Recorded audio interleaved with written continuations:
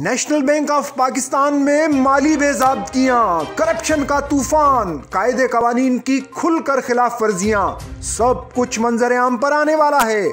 Auditor general of Pakistan की report में बहुत कुछ बता दिया गया। सैकड़ों अरब रुपए की हेर फेर सिंध हाई कोर्ट के हुक्मनामे C P double three two eight के तहत मुल्क के सबसे बड़े मालियाती इदारे का ऑडिट हुआ तो होशरुबा इंकशाफात सामने आ गए। सुप्रीम कोर्ट और सिंध हाई कोर्ट के अहकाम को पामाल करते हुए पाबंदी के बावजूद भारी मुआवजे पर गैर कानूनी भर्तियाँ की गईं।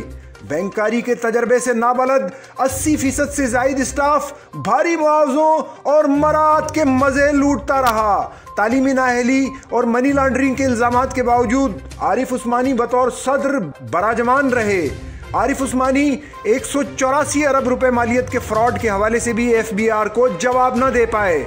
वही आरिफ उस्मानी, अब रहमतुल्ला हसनी को कायम मकाम चार्ज देकर खामोशी से बैरून मुल्क रवाना हो गए हैं। सवाल उठ रहे हैं कि क्या एक और नवाज़ शरीफ मुल्क से चले गए हैं? रोजनामा जिद्दत अपना फ़र्ज़ पूरा करता रहा। नेशनल बैंक में होने वाली हर हर बदनवानी पर आवाज़ बुलंद करता रहा। मुतल इदारों की तवज्जो मबजूल कराता रहा। Chief justice Pakistan, justice Gulzar Ahmed, सदर पाकिस्तान आरिफ अलवी, वज़ीर अजम इमरान खान, आर्मी चीफ और डी जी नैब को इस सूरत हाल का फौरी नोटिस लेना चाहिए।